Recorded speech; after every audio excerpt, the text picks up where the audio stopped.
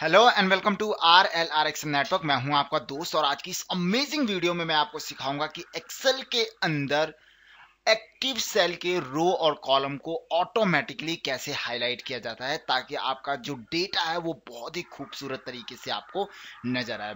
Basically क्या होता है कि जब हम एक्सेल के अंदर काम कर रहे होते हैं और हमारे पास बहुत सारा डेटा होता है तो हम किसी एक सेल के डेटा के रो और कॉलम को चेक करना चाहते हैं या देखना चाहते हैं तो ऐसी कंडीशन में हमें बहुत प्रॉब्लम होती है समझने में। लेकिन अगर आप इसके रो और कॉलम को हाईलाइट कर देते हैं किसी कलर से तो वो एक विजुअल वे में दिखता है और आपका डेटा जो है बहुत ही खूबसूरत तरीके से नज़र आता है, जिससे आप डेटा का एनालाइज कर सकते हैं और आप अपनी रिपोर्ट को और भी बेहतर बना सकते हैं। तो उसी के तरीके से मैंने आपके लिए एक एग्ज़ाम्पल लेकर आया हूँ, जिसमें आप सीखेंगे कि आप किस तरीके से अपने एक्टिव रो और कॉलम को कैसे हाईलाइट कर सकते हैं। जैसे, अगर आप देखें तो मैंने यहाँ पर एक जो है छोटा सा डेटा लिया हुआ है, जिसमें मैंने मेरे दोस्तों का नाम लिखा हुआ है। उन्होंने जनवरी से लेकर दिसंबर तक कितनी सेल की हुई है, उसके हिसाब से मेरा एक छोटा सा डेटा है। और इस डेटा के अंदर अगर मैं कहीं पर भी क्लिक करता हूँ, देख रहे हैं आप कहीं पर भी क्लिक करता हूँ तो ऑटोमेटिकली जो उसका रो और कॉलम नंबर होता है, वो कलर से हाईलाइट हो जाता है। ज़रूरी नहीं है आप माउस से क्लिक करेंगे, अगर आप कीबोर्ड के बटन से भी ऊपर नीचे या दाएँ बाएँ करेंगे तो भी जो आपका डेटा होता है, उसका रो और कॉलम नंबर ऑटोमेटिकली हाईलाइट हो जाता है। बहुत ही खूबसूरत तरीके से। अगर आप इस तरीके से काम करेंगे तो आई होप कि आपकी जो रिपोर्ट होगी, वो बहुत ही ज़्यादा बेहतर बन जाएगी। तो इसको बनाने के लिए मैंने क्या किया हुआ है एक्सेल के अंदर चार फॉर्मूले थोड़ी सी कंडीशनल फॉर्मेटिंग और एक छोटा सा वीबीए कोड यूज़ किया हुआ है, जिसको मैं आपको आज इस वीडियो के अंदर यूज़ करना सिखाऊँगा। तो चलिए चलते हैं यूज़ करना सीखते हैं। इसके लिए मैंने जो डेटा यहाँ पर यूज़ किया है, वही डेटा मैंने जो है अपनी एक शीट टू के ऊपर भी यूज़ किया हुआ है। ठीक है? और इस डेटा के ऊपर चलिए हम कंडीशनल फॉर्मेटिंग अप्लाई करना सीखते हैं।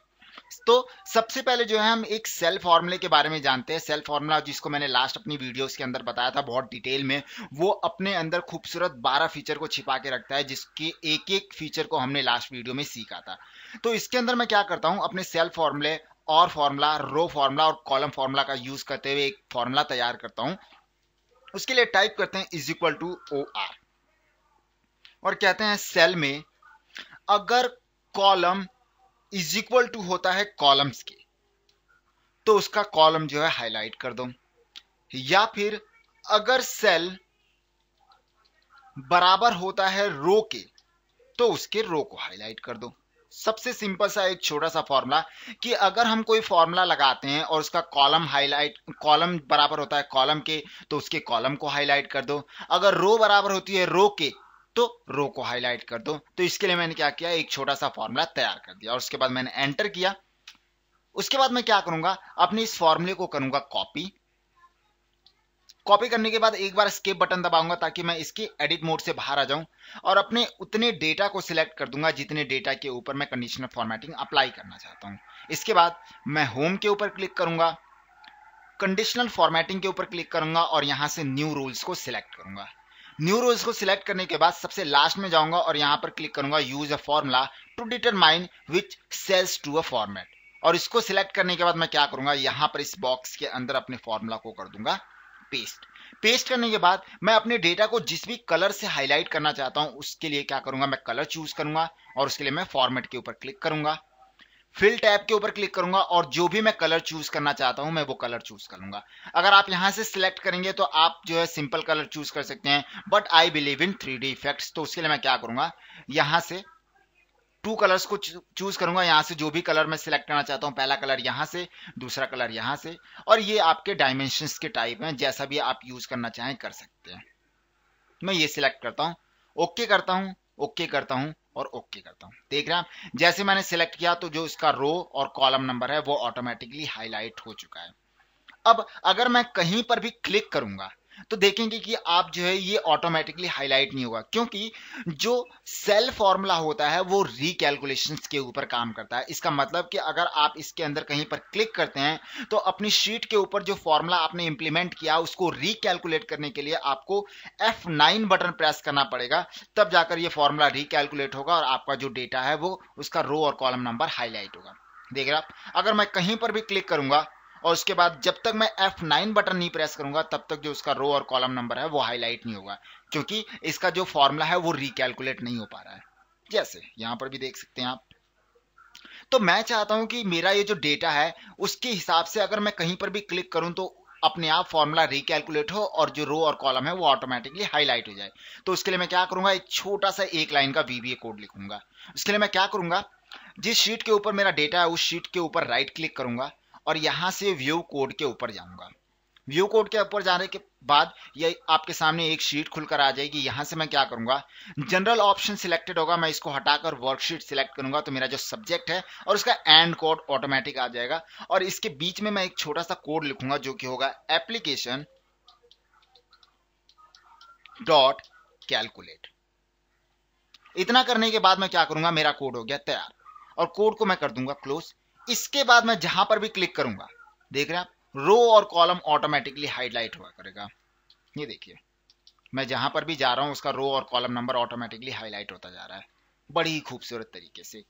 बट इतना आप जब कर लेते हैं तो भी जो है, इसके अंदर एक छोटी सी प्रॉब्लम है। चलिए, उस प्रॉब्लम को भी समझते हैं और दूर कर देते हैं। और वो ये होता है कि इसके अंदर आप अपने डेटा को कॉपी पेस्ट नहीं कर सकते। जैसे, मान लीजिए, मैंने 45 को सिलेक्ट किया है, मैं इसको कॉपी करता हूँ कंट्रोल सी से। और अगर कहीं पर भी इसको पेस्ट करने के लिए क्लिक करूँगा तो देखेंगे आप कि वो पेस्ट नहीं होगा, बल्कि उसका रो और कॉलम नंबर ऑटोमेटिकली हाईलाइट हो जाएगा। ये वीवीओ कोड लगाने में इसकी एक छोटी सी प्रॉब्लम है। तो चलिए, इस प्रॉब्लम को दूर करते हैं और उसके बाद, उसके लिए क्या करते हैं, दोबारा से व्यू कोड के ऊपर क्लिक करते हैं और अपने उस वीबीए कोड वाले पेज पर आ जाते हैं।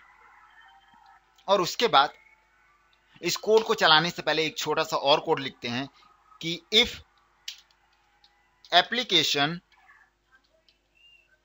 dot cut copy mode is equal to false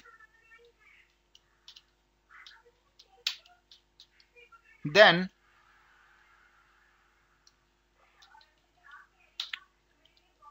if end इसका मतलब क्या हुआ कि अगर कट कॉपी आप करते हैं और कॉपी नहीं होता है तो उसके बाद क्या करें? ये एप्लीकेशन डॉट कैलकुलेशन को यूज़ करे और एंड की तरह इसको कंप्लीट कर दे। मतलब कि अगर आप कट कॉपी की कमांड चलाएँ तो वो कट कॉपी की कमांड चले भी और उसके साथ ही रिकैलकुलेशन होते ही आपका जो रो और कॉलम नंबर है, वो ऑटोमेटिकली हाईलाइट भी हो जाए। और उसके बाद मैं करता हूँ इसको क्लोज और अब देखते हैं। ओके एक छोटा सा एरर आया है देखते हैं क्या एरर आया है। If application dot cut copy mode ओह मुझे ये यहाँ लिखना था। ये। हम्म, हम्म, हम्म, लिखना है। एंड इफ़ और इसके बाद कर देते हैं। बाद कॉपी करते हैं और पेस्ट करते हैं। देख रहे हैं आप? अब आप कोई भी डेटा कॉपी और पेस्ट कर सकते हैं। करके देख लेते हैं दोबारा कॉपी और पेस्ट तो अगर आप इन चीज़ों का ध्यान रखते हुए आप ये काम करेंगे तो आई होप कि आप अपनी रिपोर्ट को और भी बेहतर बना सकते हैं और आप अपने डेटा के रो और कॉलम को हाईलाइट कर सकते हैं। सो आई होप कि आपको ये वीडियो पसंद आई होगी और समझ में भी आ गया होगा कि कैसे हम अपने डेटा के रो और कॉलम को ऑटोमेटिकली हाईलाइट कर सकते हैं। सो so, अगर आपको ये वीडियो पसंद आई हो तो आप इस वीडियो को लाइक कर दें अपने दोस्तों के साथ शेयर कर दें और अगर अभी तक आपने मेरे चैनल को सब्सक्राइब नहीं किया है तो ज़रूर कर ले क्योंकि नेक्स्ट वीडियो में मैं आपके लिए रो और कॉलम को हाईलाइट करने का एक बेहतर और खूबसूरत एग्ज़ाम्पल लेकर आऊँगा जो कि क्या करेगा कि आपके पूरे के पूरे शीट के ऊपर जो पूरी की पूरी जो शीट है उसके रो और कॉलम को हाईलाइट करेगा, ठीक है? तो चलिए वो वीडियो जो होगी वो बहुत ही खूबसूरत होगी। आई होप मुझे उम्मीद है आप लोगों को। सो आज की इस वीडियो में इतना ही। तब तक के लिए गुड बाय